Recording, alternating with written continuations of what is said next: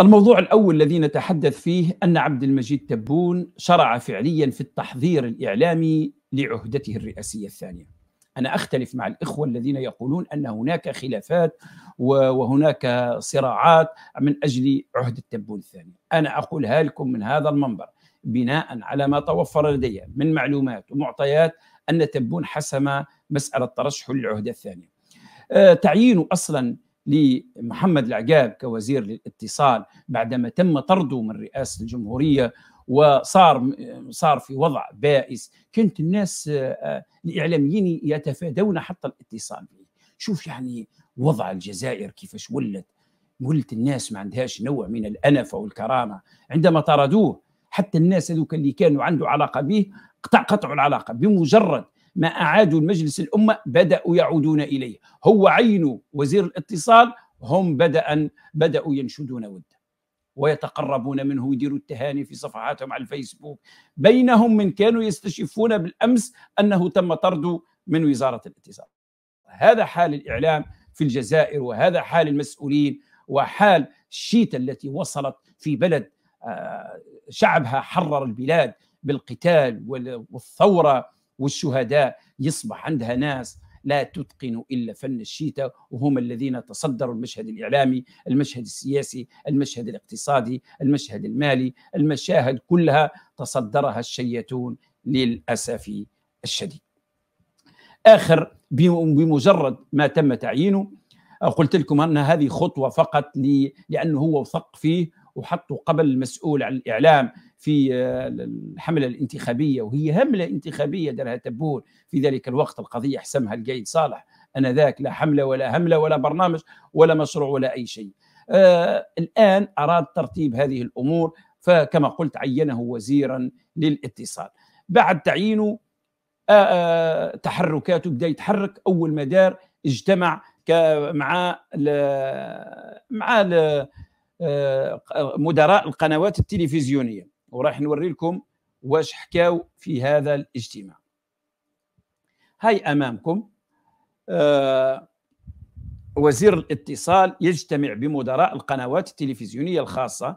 اجتمع وزير الاتصال السيد محمد العقاب يوم الأحد بمقر دائرته الوزارية بمدراء وممثلي القنوات التلفزيونية الخاصة الذين دعاهم إلى تقديم مقترحاتهم ضمن تقرير شامل يمكن أن يشكل مستقبلا أرضية لورقه طريق تتعلق بتشخيص موضوعي لمشاكل القطاع وإيجاد الحلول. إيجاد الحلول المناسبة لها وفقا لما أورده بيان للوزارة.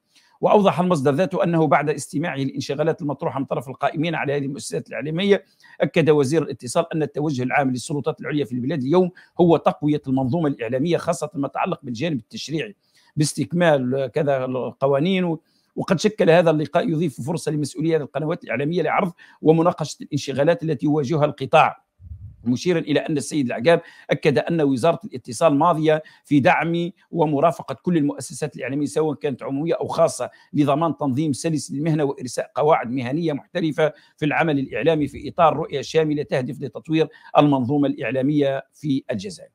هذا هذا هو الاجتماع. ما تحدثوا على حرية الصحافة ما تحدثوا على التضييق على الصحافة ما تحدثوا على الرأي والرأي الآخر ما تحدثوا حتى على شيء.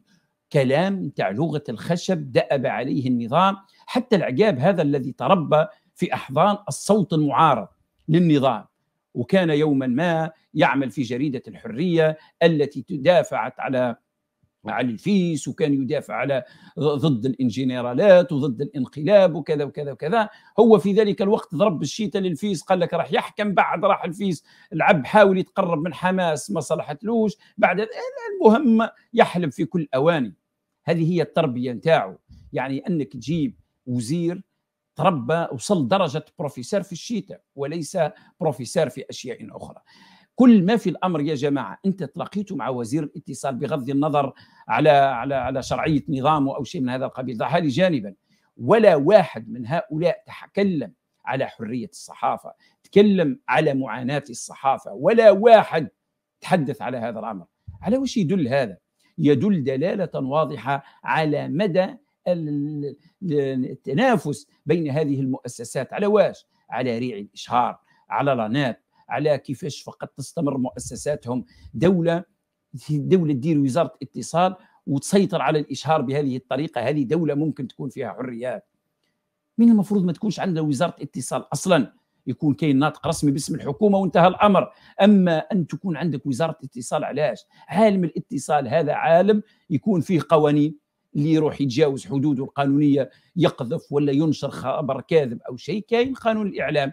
وبعد ذلك الإشهار الناس المؤسسات الإعلامية أو الناس اللي عندهم إشهار يعطوه للمؤسسات اللي عندها مقروئيه اللي عندها انتشار اللي عندها كذا لكن أنها تعطى للدولة والدولة تستغلها لخنق المؤسسات الإعلامية والهيمنة عليها فأعتقد بأن هذا لا يمكن أن يكون في دولة تتطلع أن تكون لديها منظومة إعلامية.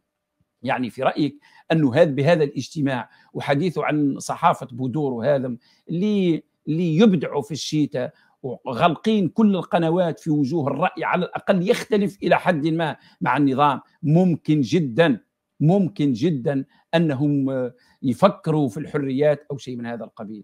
إذا كان محمد العقاب كتب عني اللي هو وزير الاتصال يوما ما آه، مقال واعتبرني نموذج للناس الذين يرفضون صحافة البلاط يرفضون آه، شعراء الحانات والخانات والقبولات والنظام.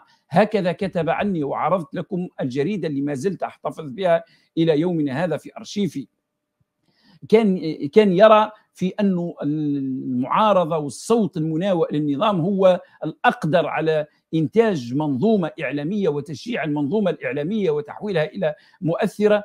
الآن أصبح شيء آخر خارج إطار التخطيط إذا إخواني الكرام هذا موضوع نقول بأن الآن الاستعدادات كلها رايحة للعهدة الثانية ليس إلا وهذا الاجتماع يأتي في إطار ترتيبات لخلق آه، أو خنق وسائل الإعلام كي تسير في الركب عبر الإغراءات المختلفة التي دائما ما تقدمها آه، وزارة الإعلام.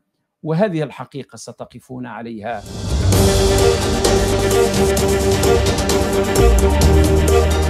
We'll